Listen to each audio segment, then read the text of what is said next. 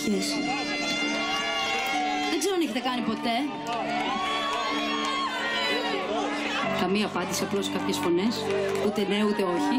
Ξέρεις, συνήθως αυτά δεν τα ομολογούμε. Τέλος πάντων, το ζευγάρι αυτό ερωτεύτηκε σε ένα παράλληλο σύμπαν. Συναντιόταν δύο-τρεις φορές την εβδομάδα. Έκανε έρωτα παθιασμένα, πότε στα αυτοκίνητα, στα σπίτια των φίλων, στους δρόμους.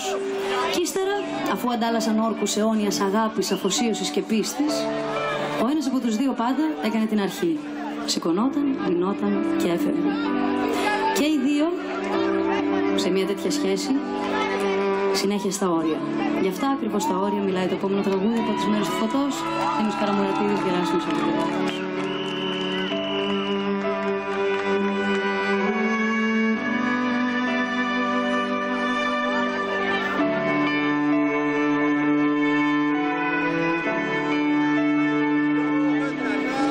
Bye.